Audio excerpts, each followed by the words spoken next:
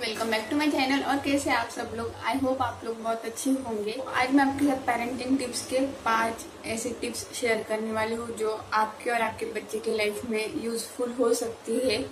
तो ज़्यादा time waste ना करते हुए वीडियो तो फ़र्स्ट टिप मैं आपको ये दूँगी कि आप अपने बच्चों की किसी भी चीज़ के लिए अप्रिशिएट कीजिए। मतलब वो छोटे हो बड़े हो किसी भी उम्र के हो लेकिन फिर भी। आ, मैं अपना एक्सपीरियंस बताती हूँ। जब मैं परी परी कुछ भी करती जैसे वो जब फ़र्स्ट टाइम चली तो मैं वाह बहुत अच्छा किया गुड गर्ल ये ऐसा जब बोलते ना तो उसको लगता है, यार, मैंने कुछ अच्छा किया। तो बच्चों को वो चीज़ें पता नहीं होती कि क्या चीज़ सही है और क्या चीज़ गलत है। इसीलिए आप अगर अप्रिशिएट करेंगे तो उनको ये पता चलेगा कि हाँ ये अगर हमने किया, ये इसके लिए अगर हमारे लिए तालियाँ बज रही इसका मतलब ये हमने अच्छा काम किया है। तो बचपन से लेके बड़े होने तक आगे भी जाके, जैसे कि कोई पेरेंट्स ऐसे रहते कि स्कूल में अगर बच्चे को कम परसेंटेज आए तो उसको मतलब सिक्सटी परसेंट आए तो भी बोलते हैं सिक्सटी आए ना? अरे ठीक है सिक्सटी आए ना। उसमें भी खुशी मान, मानिए ना, ऐसे थोड़ी ना उसको नाइन्टी आनी चाहिए। कुछ पेरेंट तो नाइन्टी परसेंट आए तो भी खुश नहीं होते। फिर वो बच्चे भी वैसे हो जाते हैं आगे जाके बच्चे को भी अगर नाइन्टी परसेंट आए तो भी उनको लगता है, यार नाइन्टी टू आने चाहिए थे। तो ऐसा मत कीजिए आपके बच्चों को अप्रिशिएट कीजिए, वो जो भी कर रहे हैं। उनको अगर आप अप्रिशिएट करेंगे ना, वो हर एक काम करने की एटलीस्ट कोशिश करेंगे।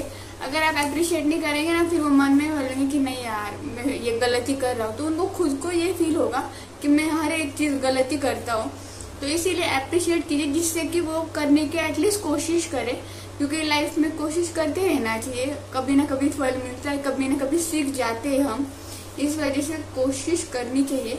तो अगर आप अप्रिशिएट नहीं करेंगे ना बचपन से ही तो बच्चे कुछ भी नहीं करेंगे। अगर बच्चे ने कभी कुछ सही किया, लेकिन मैंने उसको अप्रिशिएट ही नहीं किया हाँ ठीक है, कर लिया तो उसको कैसे पता चलेगा कि मैंने ये काम अच्छा किया है कि बुरा किया है? तो ठीक है, करने दो। अगर वो थोड़ा सा गलत भी जा रहा है तो हमें उसको संभाल हम संभाल सकते हैं, या हम उसको समझा सकते हैं, ऐसा नहीं, ऐसा करना चाहिए। वो कीजिए आप। अगर आपका बच्चा कभी जैसे कि कुछ चीज़ उसने की, लेकिन वो थोड़ी गलत है तो आपको वो समझाइए कि भाई हाँ तू अगर ये ऐसा करता तो और ज़्यादा अच्छा बनता। लेकिन हाँ ये तूने ये ऐसा किया है तो भी बहुत अच्छा बना है। तो उससे एटलीस्ट वो नेक्स्ट टाइम करने की कोशिश करेगा दोबारा करेगा कि हाँ चलो ये ऐसे से थोड़ा सा बेटर करने की कोशिश करूँ। लेकिन आप बोलोगे ना, अरे तूने बिल्कुल भी अच्छा नहीं किया। तो नेक्स्ट टाइम ट्राई भी नहीं करेगा। तो ऐसा बहुत सारे पेरेंट्स करते हैं तो ऐसा ना करें। नेक्स्ट टिप दूँगी कि आप अपने बच्चों को फ्रीडम ऑफ़ स्पीच दे। मतलब कि बहुत सारे घरों में ऐसा होता है कि उनके बच्चों को बोलने की कोई आ, मौका ही नहीं मिला जाता है।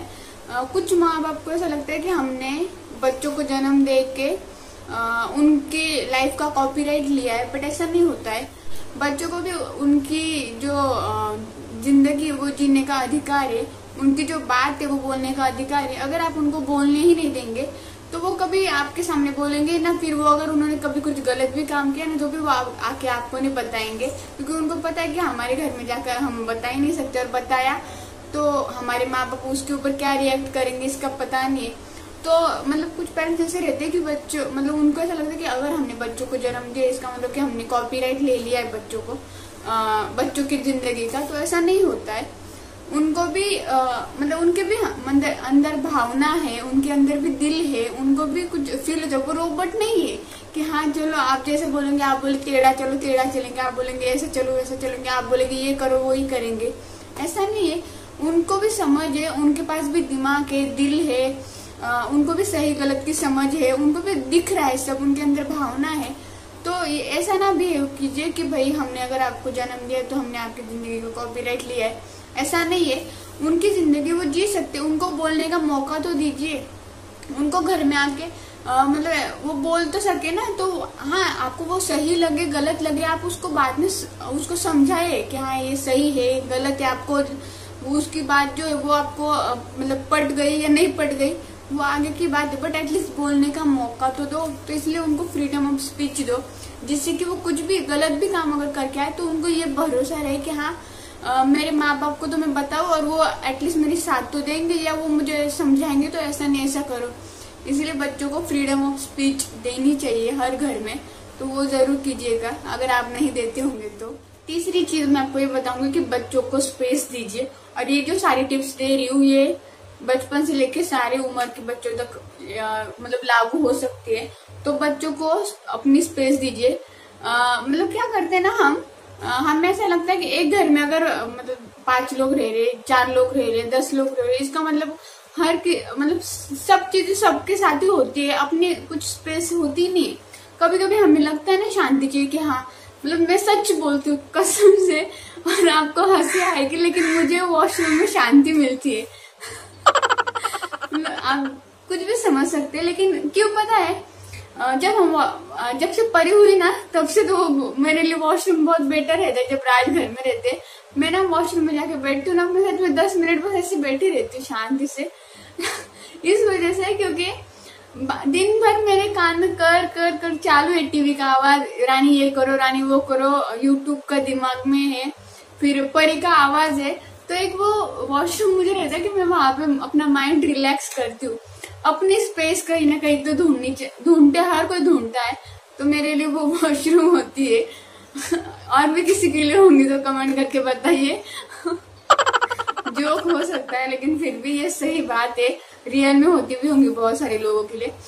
तो ऐसा होता है तो हर किसी को अपनी स्पेस चाहिए होती है।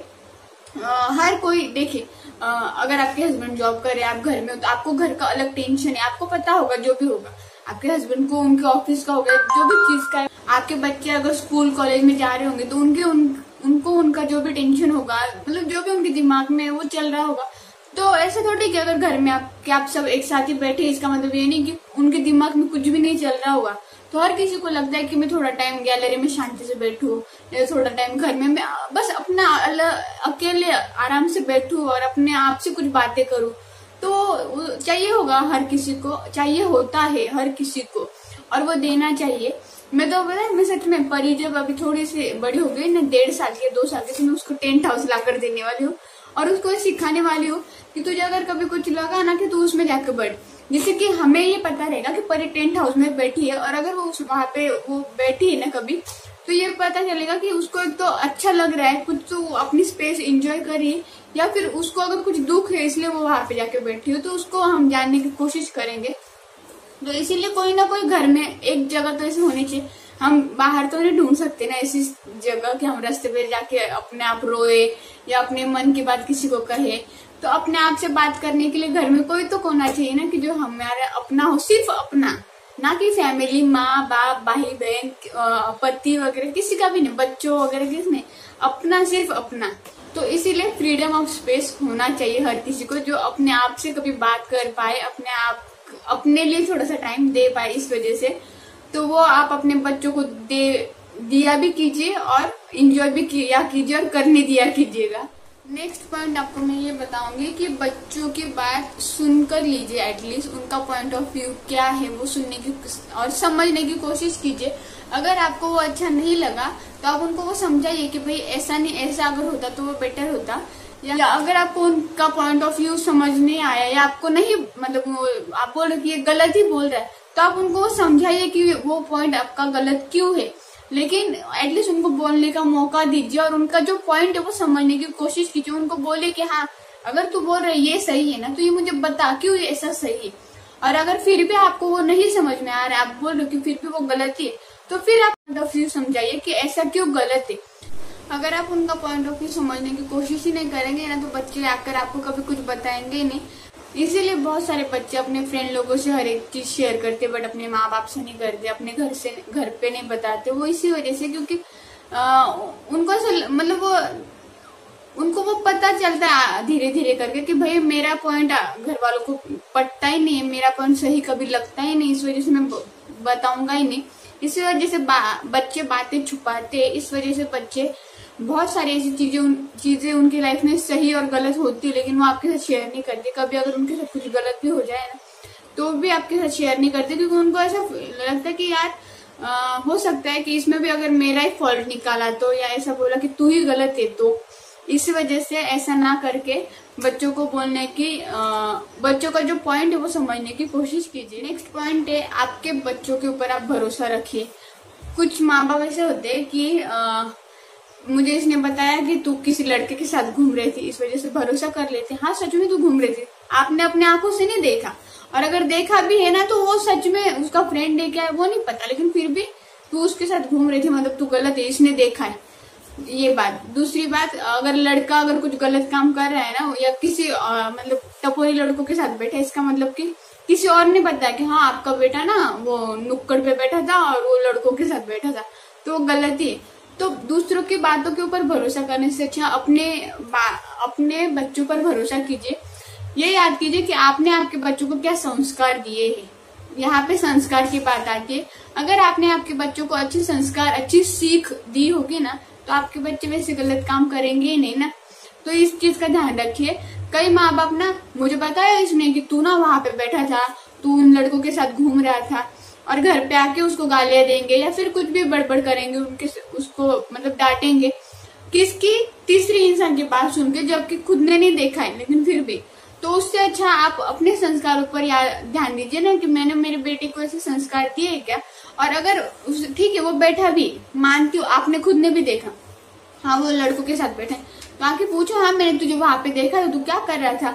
अगर आपका बच्चा बोलता है ना, नहीं, मैं उनसे ऐसी बात कर रहा था, या मैं उनकी हेल्प कर रहा था, या वो मेरी हेल्प तो भरोसा कीजिए ना, क्यों ऐसा बोलते हैं कि भाई, नहीं, तू झूठी बोल रहा है, तू ऐसा ही है, तू ऐसे ऐसा क्यों बोल रहे ठीक है ना, वो सच भी बोल रहा होगा ना, भरोसा कीजिए। अगर आप अपने बच्चों के ऊपर भरोसा नहीं करेंगे ना तो आपके बच्चे लाइफ में कभी भी आप, उनके लाइफ में जो भी अच्छा या बुरा हो रहा होगा ना, वो कभी आके आपको नहीं बताएँगे। और ना, मैं ये बात आपके साथ इसलिए शेयर करती हूँ क्योंकि मैं ना, जो भी बात आपके साथ शेयर करती हूँ वो मैं जब बच्ची थी ना, उस टाइम पे मतलब मैं क्या बोलते ना, एक बच्चा बन के एक बच्चे की भावना मैं आपके साथ शेयर करती हूँ। ऐसा होता है बच्चों को, मन में बहुत दर्द होता है, बच्चों को भी बहुत बुरा लगता है। तो इसलिए मैं आपके साथ ये शेयर एक बच्चा बन के शेयर ना कि पेरेंट बन के मैं आपके साथ ये बातें शेयर कर रही हूँ, एक बच्चे की, मन की जो व्यथा रहती है ना, वो मैं आपके साथ शेयर कर रही हूँ। तो भरोसा कीजिए बच्चों के ऊपर, बच्चे हर बार गलत नहीं होते। और आपके संस्कार पर इस टाइम पे ध्यान देने का कि आपने अगर आपके बच्चों को गलत संस्कार दिए होंगे तो वो गलत करेंगे। अगर आपके बच्चा बोल रहा कि मैं, नहीं मम्मी, ऐसा नहीं, ऐसा या, नहीं पापा, ऐसा नहीं, ऐसा तो भरोसा कीजिए। तो नेक्स्ट टाइम अगर उसने सच में भी कुछ गलत किया होगा ना तो वो आके बताएगा। और अगर ठीक है, उसने सच में वहाँ पे गलत ही कुछ कर रहा था और आपने उसके ऊपर भरोसा रखा ना तो उसके मन में कहीं ना कहीं गिल्ट आएगा कि अरे हाँ मम्मी ने तुरंत मेरी बात पर भरोसा कर दिया, मम्मी पापा ने। लेकिन मैंने, उनको तो झूठ बोला ना तो उनके मन, उसके मन में खुद को गिल्ट आएगा और वो खुद सामने से आके आपको बाद में बताएगा कि नहीं, मम्मी, पापा, ऐसा नहीं, ऐसा था। तो इसीलिए बच्चों के ऊपर पहले भरोसा करके तो देखिए ना, कोई माँ बाप ना भरोसा करते ही नहीं है। पहले उनका जो फैसला होता है ना, वो सुना देते। तो ऐसा ना करके उनके ऊपर भरोसा करने की कोशिश कीजिए, जिससे कि बच्चे हर एक बात आपके साथ शेयर करे। बच्चों को घर में घर जैसा फील हो ना कि जेल जैसा। इन चीज़ों पर ध्यान रखिए। तो आई होप आप लोगों को मेरे आज के पाँच टिप्स पसंद आई होंगी। अगर पसंद आए तो लाइक कमेंट्स और शेयर कर दीजिए।